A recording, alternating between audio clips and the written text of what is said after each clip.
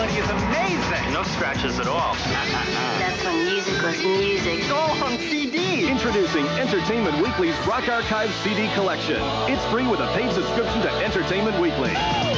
This exclusive Rock Archives collection has 30 of the most listened to hits from the 60s to today on two beautifully produced CDs or three audio cassettes.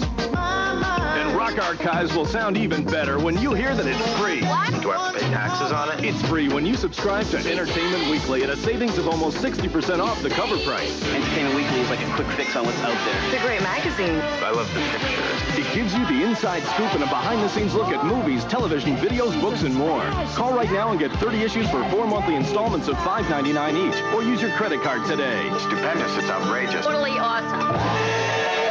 So call and subscribe today. You'll save almost 60% on Entertainment Weekly, and you'll also get the Rock Archive set free.